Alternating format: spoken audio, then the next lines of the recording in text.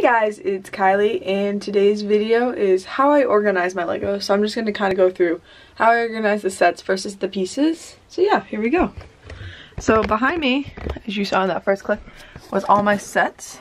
So I'm just going to kind of pan up to the top. That's where um, I just have this giant bookcase and I keep most of my sets. So I got my Harry Potter ones and just into a bunch of other ones. Some of the modulars and then all the way down to the bottom here. I have like a flashlight because the lighting's not very good in here, um, just to get that bottom section. So I have that. And then as we pan over, um, I got many, this is like boxes. These are where I keep my, um, just pieces that go with a certain set. So like that Harry Potter, it's just extra Harry Potter pieces or like Big Bang because those are like bigger, nicer sets. So I wanted to keep those separate. Then we have this section down here. Um, this is all my pieces. So I just kind of organize them by piece. So each one of these, most of them are labeled. Some of them I haven't gotten around to labeling. But they all just have different labels and like the ones that I have less of go in a smaller thing versus the ones I have more of go in like a bigger container. But these are all the different pieces. Now this is just my box of random pieces, so any extra pieces I have just kind of get thrown in there until I deal with them. Um, these ones especially, like those boxes up there are like um, railroad tracks and like Technic pieces because I have a bunch of those but don't really use them often, so they just kind of get put in a box.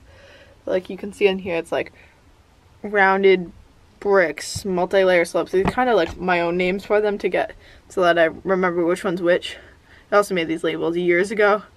So it was just what I had above 2 by plates, so like more than 2 by. Then these are containers of more brick bricks than I than the other ones. Like that's all one by something, like one by eights and larger. Then it's I think that's two by twos. And then this just has like extra bricks, like 2x4s and all that, like the basic bricks.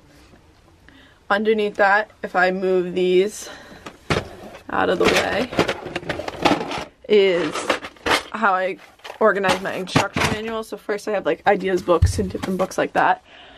But then it's all my instruction manuals.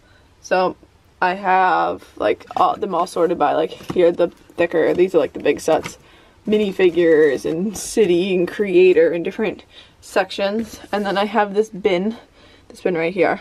Um, it's just filled with sets I'm breaking down, extra pieces, just stuff I wanted to just get rid of and not actually have like out on display. And then to continue on, I have this display.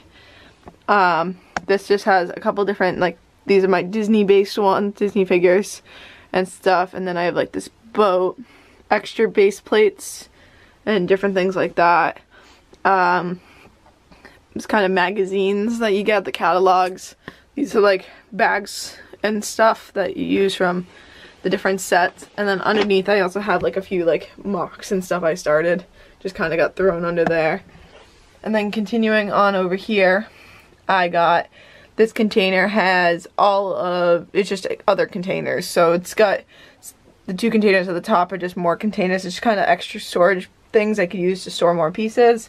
And then these are just covers and containers and they're, this is all like extra storage. So anything I need to like sort, I could just put in these bins and sort them with. Same with the bags, I can just use them to sort. And then up here I have a few more sets. Got BB-8, some of my Star Wars sets, and then into a couple other sets and the castle that's up here.